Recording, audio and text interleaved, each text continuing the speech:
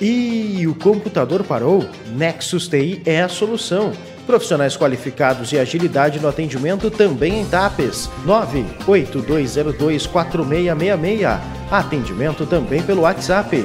Precisou de assistência técnica com o seu computador? Nexus TI resolve.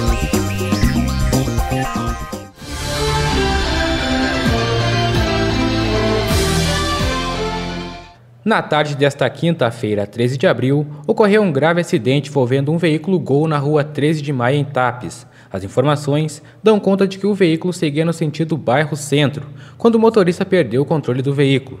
Segundo informações preliminares, uma mulher grávida ficou presa às ferragens sendo resgatada por moradores da região. A Brigada Militar e o SAMU estiveram no local realizando atendimento. As vítimas foram encaminhadas ao Hospital Nossa Senhora do Carmo para devido atendimento. A gestante foi transferida posteriormente para o Hospital de Clínicas em Porto Alegre. Populares afirmaram que o motorista estava em alta velocidade, informação não confirmada pelas autoridades.